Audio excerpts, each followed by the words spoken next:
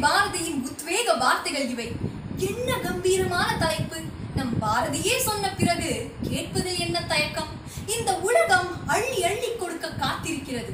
கேள் உறக்கக் கேள் பெரிதினும் பெரிதாய் கேள். நம் ஆசைகள் எப்போதும் கனவாகவே இருந்துவிடக் கூடாது. ஒன்றை அடைந்தவுடன் அடங்காதே அடையாததை அடைந்து அடையாளமாவாய். இயலாமை இல்லாமல் செய்ய பெரியினும் பெரிதே கேட்போம். கிறித்துவம் கேளுங்கள் தரப்படும் என்றது. இஸ்லாம் பொறுமையுடன் கேட்டு பாருங்கள். அவன் பொக்கிஷத்தையும் மூடுவதில்லை என்றது. இந்து தர்மமோ கேட்டதை கொடுப்பவனே கிருஷ்ணா கிருஷ்ணா என்றது. இவ்வாறாக பல மதங்களும் கேட்டால் கிடைக்கும் என்பதையே வலியுறுத்துகின்றன. நம் எண்ணங்கள் எப்போதும் வலிமையானதாக இருக்க வேண்டும்.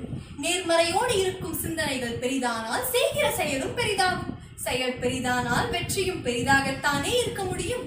தூய்மையான எண்ணங்கள் நம் மரணத்திற்கு பின்பும் நிலைத்து நிற்கும். எடுத்துக்காட்டாக பட்டாச்சாரியார் பெரியாழ்வாரின் மகள் ஆண்டாளிடம் உதித்த எண்ணங்கள் அவளுக்கு பின்னால் வந்த ராமானுஜரால் நிறைவேற்றப்பட்டது. ஆண்டாள் மறைந்தாலும் அவரது எண்ணங்கள் வலிமை பெற்றன அல்லவா? எந்த ஒரு கனவு மறுபடி மறுபடியும் தோன்றி உன்னை தூங்க விடாமல் செய்கின்றதோ அந்த கனவை நிஜமாக்க துணிந்து கேட்போம். துரும்பும் உதவும் என்பது பழமொழி. அதுபோல நம் செய்யும் சிறு செயலும் பெரிய செயலாக்கமாக மாறும். ஆயிரம் ஆயிரம் குறுக்கு வழிகளை விட கம்பீரமானது ஒற்றை நேர்வழி. இதைத்தான் அன்றே சொன்னார் பாரதி நன்று கருது நாளெல்லாம் வினை செய் நினைப்பது முடியும் என்று நமக்குள் இருக்கும் குழந்தைத்தனத்தை என்றும் உயிர்ப்புடன் வைத்திருப்போம். குழந்தைகள் எப்பொழுதும் கேட்க தயங்குவதில்லை.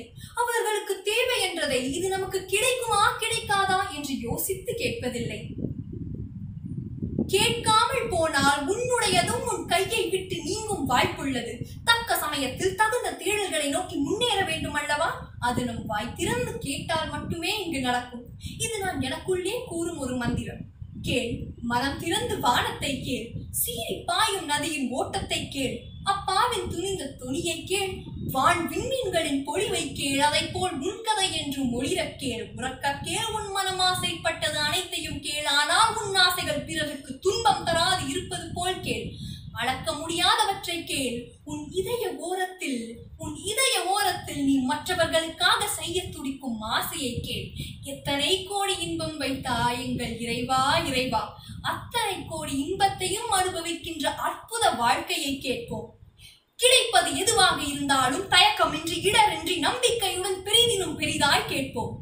உலக அமைதியை கேட்போம். சாதி அழிய நீ நான் ஒன்றாக வாழக் கேட்போம். எளிய அன்பு நிறைந்த வாழ்க்கையை கேட்போம். நன்றி வணக்கம்.